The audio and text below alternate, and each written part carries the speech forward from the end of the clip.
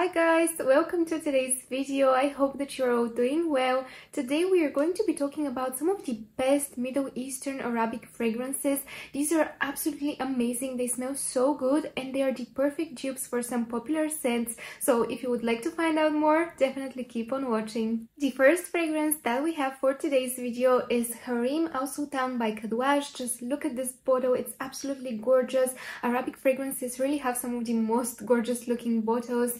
They feel so luxurious, they're so pretty, and they're so affordable. You just can't go wrong. Now, this fragrance was created for this oil, which was apparently super popular at one point at TikTok. I don't use that much TikTok, but either way, this one is a gorgeous, super delicious, juicy, fruity oil you just get like a huge basket of fruits, peaches, passion fruit, pineapple. I get like a tropical fruity mix in here and it's so delicious so juicy so sweet. It's the perfect fruity base to layer with your fragrances. If you want to add like a little bit of a fruity touch to your scents this is just perfect. Now compared to the um, oil you still get a lot of fruitiness in here but it's a little bit more floral. There's a little bit of rose some jasmine. But what i get from this fragrance in the opening i get like a huge juicy fruity opening i think of peaches, passion fruit when I smell this one, some pineapple again just similar to the uh, oil but then as it kind of starts to settle down on your skin it kind of reminds me of Love Don't Be Shy. It kind of has this like super addictive creamy sweetness about it. It almost smells like orange blossom to me with some marshmallows, with some whipped cream. It really reminds me of Love Don't Be Shy in a way it's just super delicious, super sexy, still fruity and a little bit floral. This is just the perfect sweet, sexy, fruity floral fragrance. You can't go wrong if you enjoy sweet fragrances and you love fruity scents. You just you have to try this one. It is absolute perfection. Up next, we have another super fruity fragrance, but this one is not as sweet. It's very fresh and clean. Now, this fragrance is very mm, clean and fruity and floral super uplifting. This would be the perfect spring summer scent. If you're looking for something that is fruity, floral, crisp, fresh, bright, uplifting, this would just be the perfect one. Now, this one kind of reminds me of Creed Aventus for Her, not the same, not at all, but it kind of has that same vibe and they do kind of share the same notes. In here we have a lot of green apple, pineapple, lemon, some rose, some jasmine, and in the dry down there is vanilla and cedar. What I get from this fragrance is this very musky, clean, fresh, fruity floral shower gel.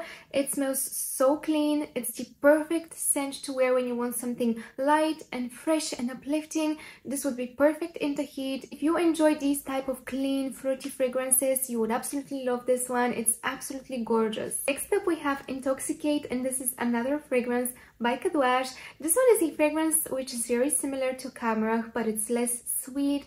So if you find Khamrah to be too sweet for you, you need to try this one. It's absolutely gorgeous. It is very boozy, a little bit spicy, a little bit sweet. Now this one has a cognac note at the top, so you definitely get that boozy feel from the scent at the initial spray. There is also a almond note as well, which is pretty uh, prominent to my nose. It's nutty and powdery. Then you start to get a little bit of that cinnamon, which is a little bit spicy.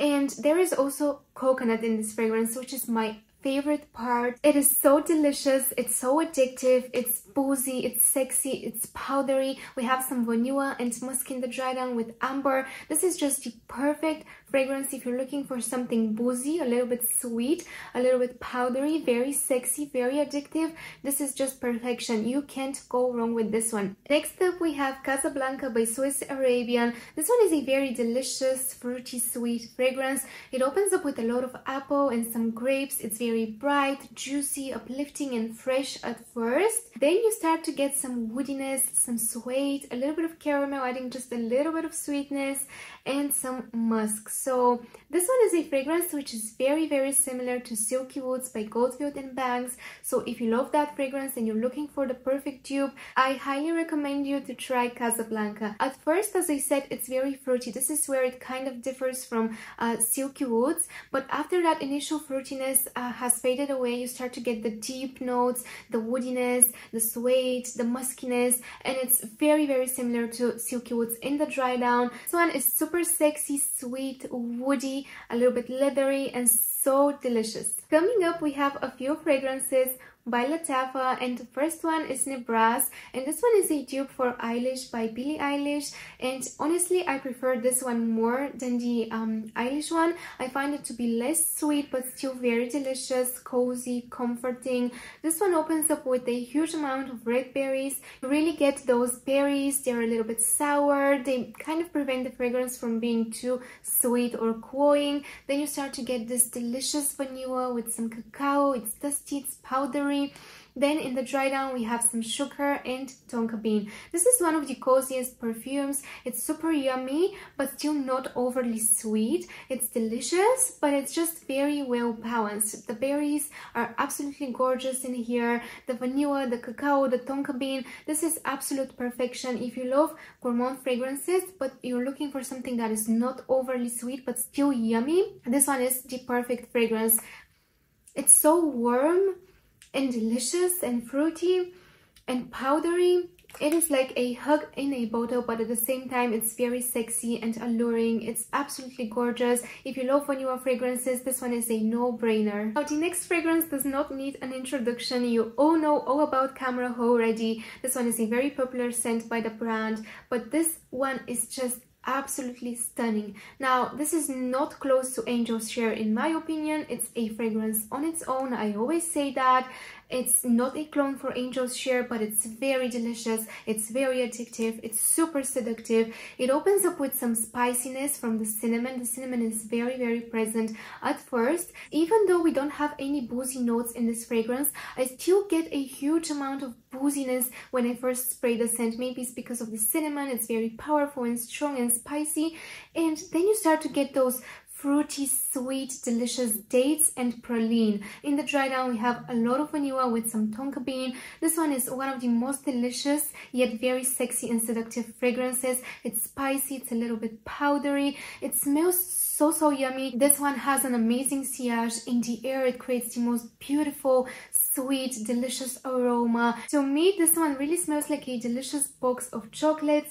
It's so yummy, so addictive. If you love spicy, sweet fragrances, this one is just perfection. Next up we have Ajwad and this one is a dupe for Roses Vanille by Mancera.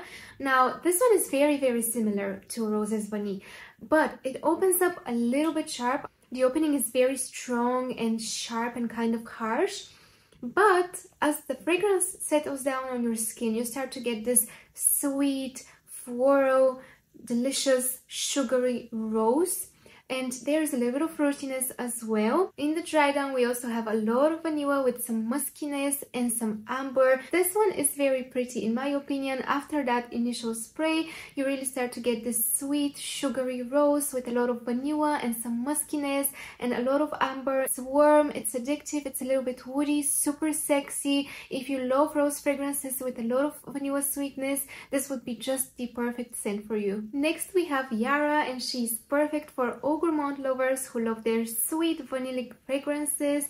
And even though she's a sweet scent she's still kind of light and airy and smooth and creamy. You can wear her during spring and summer in my opinion as well. She's not too heavy. Yara has a little bit of a citrusy opening. When you first spray her you get this like sweet tangerine note. It's very present for like the first couple of seconds. Then you start to get a lot of creaminess sweetness. It's almost milky in a way. We have a lot of tropical fruits in here too. To me, it smells like a delicious tropical milkshake. In the dry down, we have a lot of vanilla with sandalwood and musk. She is creamy, yummy, smooth, delicious. The perfect vanilla scent with a little bit of fruitiness. The last two fragrances that we have are by Orientica and the first one is Fleur Orientica. This one is the perfect dupe for Valaya and Fleur Narcotique. If you love these two fragrances and you're looking for the affordable version, this is just the perfect one. Plus, this one is like 10 times stronger than Valaya and Fleur Narcotique. It's a powerhouse of a fragrance. When you spray this one on your skin, it will be on you for 10 hours without a problem. It will be on you until you take a shower.